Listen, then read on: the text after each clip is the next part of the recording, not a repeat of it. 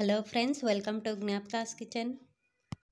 ఈరోజు వీడియోలో simple and tasty recipe crispy potato ఫ్రైని ఎలా తయారు చేయాలో చూపిస్తున్నాను. ఎంతో టేస్టీగా స్పైసీగా చాలా బాగుంటుంది. తయారు చేసుకోవడం కూడా చాలా సింపుల్గా ఉంటుంది. పిల్లలు కూడా ఈజీగా చేసేస్తారు. ఇప్పుడు ఈ ప్రాసెస్ ఏంటో చూద్దాము. ముందుగా ఒక అర కేజీ వరకు బంగాళదుంపల్ని తీసుకొని తొక్క తీసేసి చిన్న ముక్కలుగా కట్ చేసి నీళ్ళల్లో వేసుకొని ఈ విధంగా రెండు నిమిషాలు బంగాళదుంపలకి ఉండే పిండి అంతా కూడా పోయేటట్లుగా శుభ్రంగా కడిగి నీళ్ళు తీసేసి ఒక ప్లేట్లోకి తీసుకుందాం. ఇలా చేసుకుంటే మనకి ఫ్రై అనేది క్రిస్పీగా వస్తుంది ముద్దలాగా అవ్వకుండా ఉంటుంది. ఇప్పుడు ప్రిపేర్ చేయడానికి కడాయిలోకి మూడు టేబుల్ స్పూన్లు నూనెని వేడి చేద్దాం. నూనె వేడయ్యాక ఒక టీ స్పూను జీలకర్ర వేసి కొద్దిగా వేగిన తర్వాత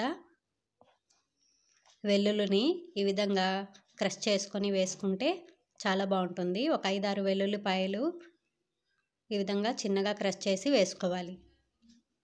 కొద్దిగా కరివేపాకును కూడా వేసి వేయించుకున్నాక ఇప్పుడు మనము కట్ చేసుకున్న బంగాళదుంప ముక్కల్ని వేసి మంటని మీడియంలో పెట్టి కలుపుకుంటూ ఒక పది నిమిషాల పాటు మగ్గించుకోవాలి.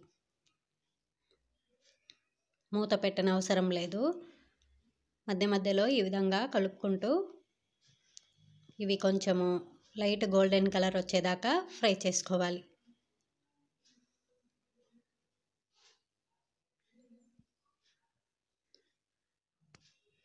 ఈ విధంగా లైట్ గోల్డెన్ కలర్ వచ్చిన తర్వాత ఇప్పుడు ఇందులోకి అర టీ స్పూను పసుపు రుచికి తగినంత ఉప్పును కూడా వేసి ఒకసారి మొత్తం బాగా కలిపి ఇవి సాఫ్ట్గా మగ్గేంత వరకు మగ్గించుకుందాం.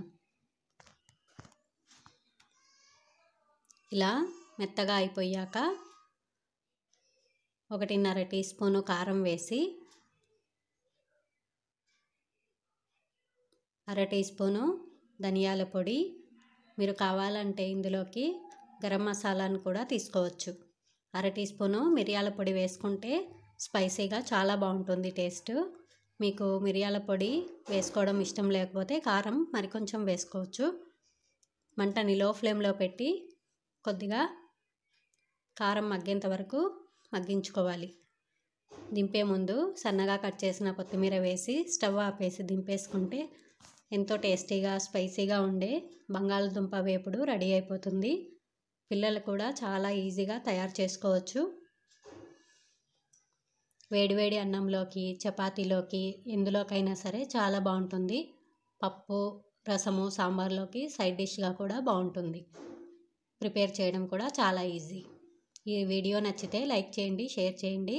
అలాగే మన ఛానల్ని తప్పకుండా సబ్స్క్రైబ్ చేసుకొని బెల్ ఐకాన్ని యాక్టివేట్ చేసుకొని ఆల్ అనే బటన్ని ప్రెస్ చేయండి.